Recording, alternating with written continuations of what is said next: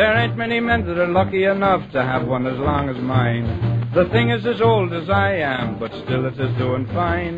Many's the time that I've been afraid 'twas going on the blink. But then upon closer scrutiny, it proved to be in the pink. I've always treated it carefully and don't leave it lying about. Before I put it away, I still remember to shake it out. And if I should ever be too weak to hold it in the air, I've instructed me wife to handle it with tender love and care. Oh, ain't it a beauty? And I have used it proudly all me life. Oh, ain't it a beauty? Now if you don't believe me, ask me wife.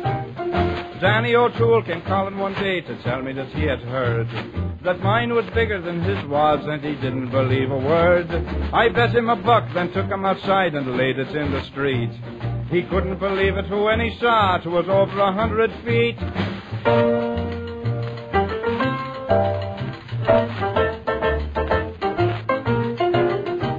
One summer I happened to be out of work and during me leisure hours. I do a good turn by using it to water the neighbor's flowers. I met a young lass who needed it bad and used it for a week. Though it was abused for days on end, it never began to leak.